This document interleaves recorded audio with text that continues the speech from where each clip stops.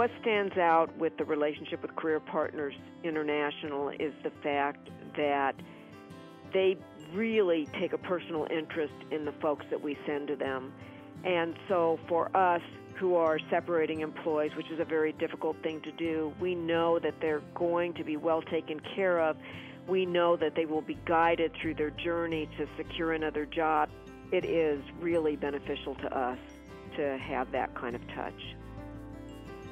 As a government health plan provider and a business that is very much in the merger and acquisition phase. We have uh, brought on board companies and transitioned companies. Uh, CPI has been along uh, for the full ride and helped us not only to transition uh, employees but also provided other HR services to help us in uh, in integration of businesses as well providing uh, counsel in areas like uh, coaching for some of our executives. We've also done some significant HR planning to ensure that we have an effective setup for managing those new employees.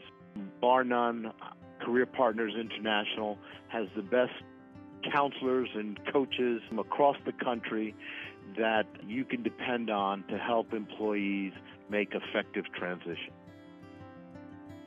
What I value the most is the that the Career Partners International they really uh, dedicate time to understand our needs. They show truly interest to uh, meet our expectations.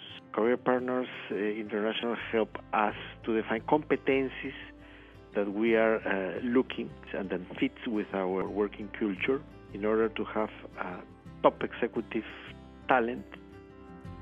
The reason that we continue to use this firm is the quality of the services and the relationships that we have with Career Partners International. Those relationships have been incredible for us and really flawless for our employees that have received the services. Career Partners International is truly a phone call away from us.